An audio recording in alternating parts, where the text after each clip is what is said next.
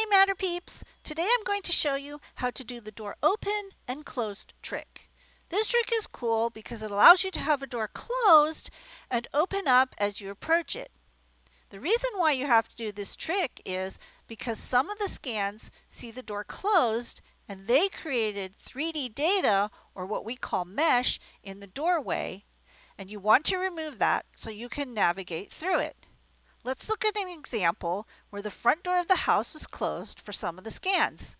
As you can see, it has created some 3D data right here in the doorway. And that's going to block me from being able to go into the house. Now let's look at the mini map for this space. In this example, scans 0 and 1 were done with the door open all or some of these other scans were done with the door closed. To remove the mesh that was caused by the closed door, surround these two scans with well-placed trim markers like this. One here, one here, one here, one here, and one here. These trim markers tell the software to create the 3D data inside this area using only the data from scans 0 and 1.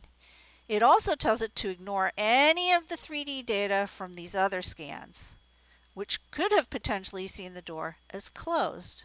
Since scans 0 and 1 saw the door as open, there won't be any 3D data here in the doorway.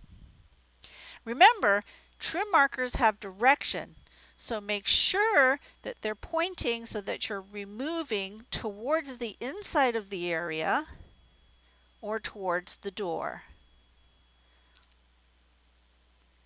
And here is the same space with the door with the markers re-uploaded. And you can see there's no longer that piece of mesh here and I can now walk through the door without any problems.